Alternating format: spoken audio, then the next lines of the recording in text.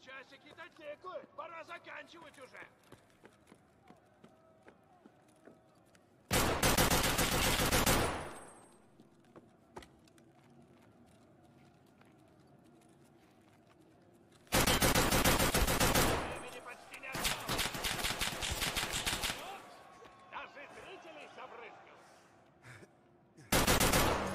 Oh my god, I clutched that